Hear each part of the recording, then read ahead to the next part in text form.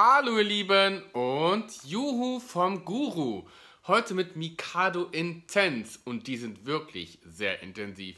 Diese Sorte kommt mit Karamell und Salz daher. Wie geil ist das denn?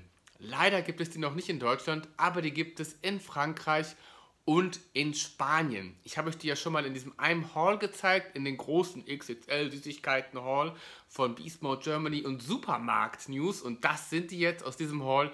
Die teste ich jetzt heute mit euch. Ich bin sehr gespannt, wie die mir schmecken werden. Ich habe sie vor langer, langer Zeit mal probiert und fand sie abartig geil. Echt, weil die waren so lecker. Ich meine, die sehen ja auch schon lecker aus, oder?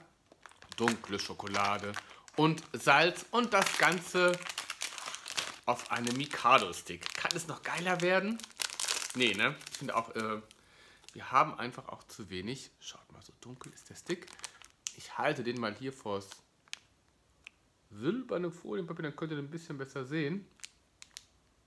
Oh, und das riecht schon so lecker. Sogar der Mikado-Stab ist dunkel. Richtig geil.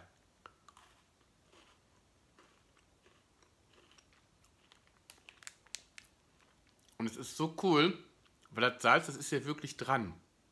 Das schmeckt man auch. Viele sagen ja gerade bei Schokolade, dunkle Schokolade mit Salz, das schmeckt man gar nicht raus. Hier schmeckt man es wirklich raus.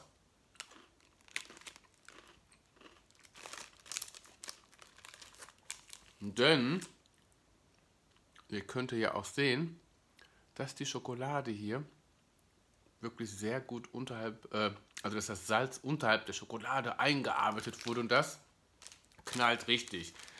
Schokolade, Salz und oh, Karamell. Geilste Kombi ever, oder? Ich liebe es. Dunkle Schokolade, Karamell und Salz. Diese Mikado-Sorte bräuchten wir dringend auch in Deutschland.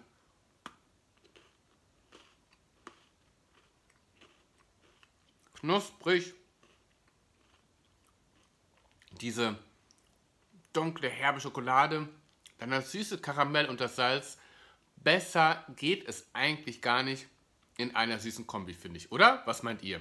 Ich finde so dunkle Schokolade, dieses Salz und dann noch Karamell, alle Geschmacksnuancen vertreten. Wie könnte man das noch besser machen hier bei Mikado? Ich weiß es nicht. Mm. Deswegen, wenn ihr mal in Frankreich seid, mh, Belgien steht ja auch drauf oder Italien,